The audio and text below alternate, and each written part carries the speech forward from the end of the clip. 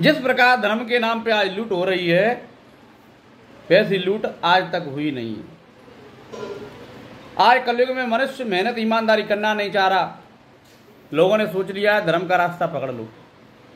कोई धर्म के नाम पर बे मांगने बैठ जाएगा, कोई धर्म के नाम पर चंदा करने बैठ जाएगा, कोई धर्म के नाम पे पंडाल लगा के बैठ जाएगा, कोई कीर्तन के नाम पे चंदा मांगने लगेगा कोई धर्म के नाम पे कोई वृंदावन, परिक्रमा मार्ग में कई लोग बैठ जाते हैं।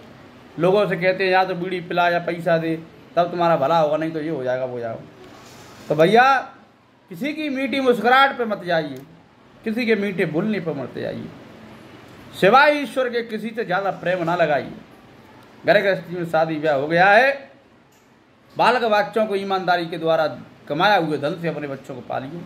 बेईमानी का धन, बेईमानी का पैसा कभी टिकता नहीं है।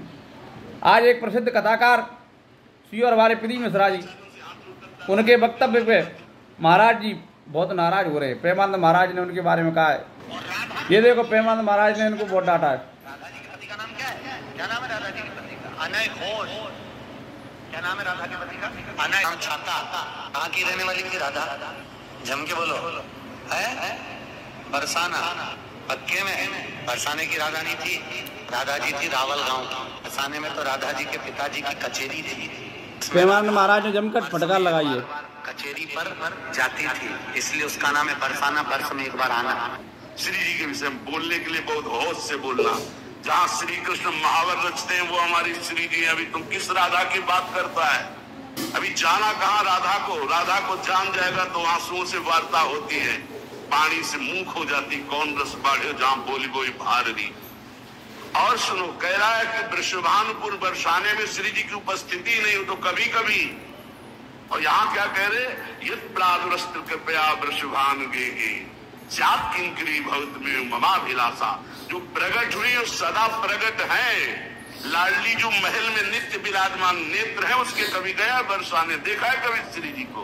राधा बाबा ने देखा तो बात कर रही थी श्री जी। राधा बाबा बात कर रहे थे। और जितने प्रेमी जन है, उनसे श्री जी बात करें। क्या जानते हो? कैसे तुम्हें बताऊँ ये हृदय की बात की हमारी लाडली जो क्या है? जो श्री वृषभानुपुर में बरसाने के भी काल, महाकाल सेवक हैं, पीकदानी लिए खड़े रहते हैं श्री कृष्ण। ऐसे शब्दों का उच्चारण कभी न करे जिससे भावनाओं में ठेस पहुँचे। बहुत बड़ी ठेस पहुँची हमारी हृदय में। हमारी लाडली जी के विषय में नहीं। जानना है राधा तत्व को तो हम बोलेंगे नहीं, बैठ जा, हमारे सामने जान जाएगा। श्रद्धा और विश्वास करके बैठ जा हम बोलेंगे नहीं केवल रोम रोम से तू जान जाएगा लाडली जो क्या है। बैठ तो तू आकर सामने। अब हज़ारों लोग बैठ करके सुनते कैसी बुद्धि मारी गई इष्ट की अवहेलना सुन रहे हैं बैठकर। और ऐसों को भागवताचार्य बनाकर मंच पे बैठाल करके सुनने के लिए निमंत्रण दोगे ना कि पुरिखा तर जाएँगे तो पुरिखा नरक जाएँगे ऐसों को बैठा लोगे। भक्ति और प्रभक्ति देखो महाराज जी ने साफ़ कहा है कि ज़्यादा भीड़ होने से आडंबर रंगने से कुछ नहीं होता है। ये बड़े बड़े कथाकार अगर कैसे भी हो, लेकिन ऐसी उल्टी सीधी बातें करे, बिल्कुल ना सुने और उल्टे नरक में जाओगे। भागवत कथाओं के नाम पर जिस प्रकार आज लूट हो रही है, ऐसी कभी नहीं हुई है। लोग मेहनत, ईमानदारी की छोड़ के उल्लू बना बना के तरह तरह के टोटका दिखा दिखा के केवल धन कमाने में लगे हुए हैं।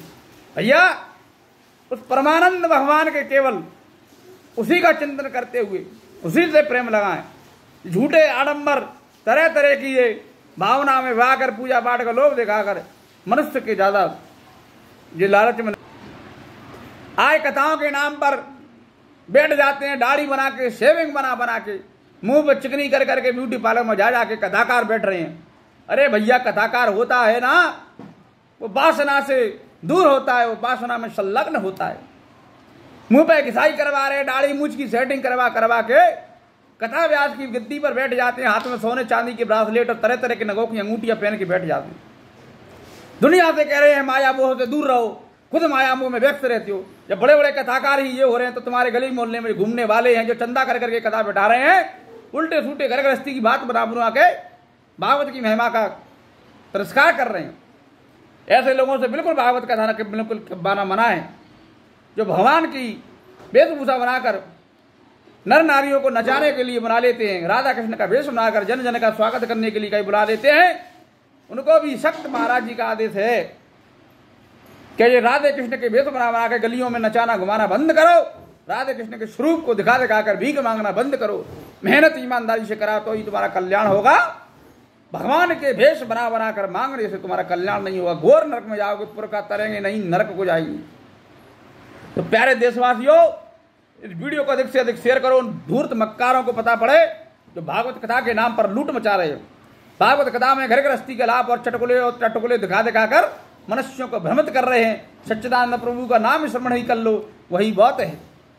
छोटी मोटी उनसी किताब उल्टी सूदी किताब पन्नों में तरह तरह के राइटर पढ़ने से मनुष्य भ्रमित हो जाता है। जो प्राण वेद और यंत्र है, जो गीता प्रेस गोरखपुर के द्वारा लिखा हुए हैं, वो बिल्कुल सही है, केवल उनके द्वारा अन्य किसी राइटर के छोटे मोटे राइटरों की किताबें पढ़ना बिल्कुल ही सही नहीं है, क्योंकि किसी में कोई बात मैच नहीं करती, किसी में कोई बात मैच नहीं करती, जिससे कि लोग भ्रमित हो जाते हैं। ईष्ट एक ही है, उसके बारे में अवहेलना ना सुने। गुरु की निंदा इष्ट की निंदा सुनना बहुत बड़ा पाप है। पीदी मिश्रा जी का आज इतना विरोध हो रहा है, केवल इसीलिए हो रहा है कि राधा जी के बाद उसने छह राधा बना दी और एक दुनिया की राधा से क्या करना? किसी की राधा किसी की बुआ है, किसी की राधा बहन है। अरे गृहस्थी में तो राधा नाम, भगवान के नाम, कृष्ण नाम, गोपाल नाम बहुतों के होते हैं। इसका मतलब ये थोड़ी है कि हम उनके गुणगान मंच पे करने लगे। हमारी कृष्ण प्रिया राधा जी हैं, प्रसवान कुमारी राजा, राधा जी केवल उन्हीं का गुणगान करना है। हमारे गंगाधर कैलाशपति महादेव, केवल उन्हीं का गुणगान करना है पुराण कथा में। तो भैया, जिसकी जिसमें प्रीत होती है, उसकी गुणगान करना है। गृहस्थी का लाभ दिखाकर मनुष्यों को भ्रमत ना करे। जय जय श्री राधे प्रसमान कुमारी की जय हो, श्री कृष्ण दुलारी की जय हो।